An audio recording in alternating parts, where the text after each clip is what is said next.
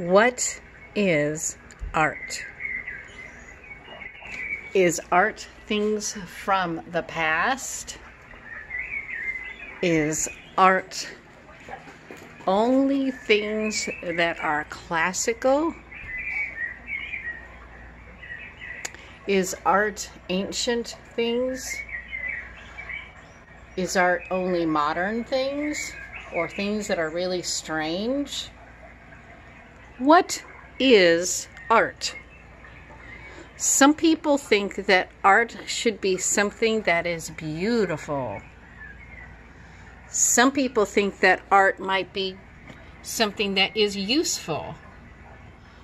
Some people think that art can be objects that you use around the house.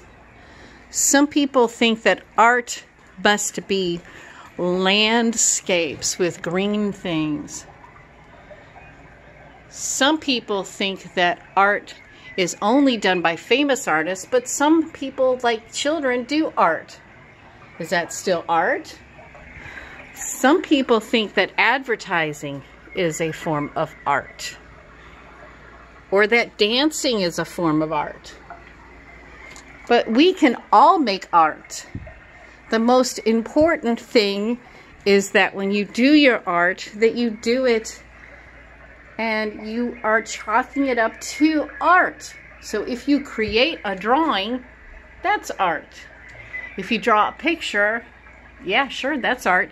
If you make something out of paper, that's art. If you paint something, sure, that's art too.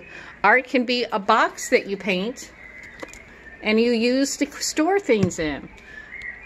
So what is art? Art can be anything. Art is everywhere.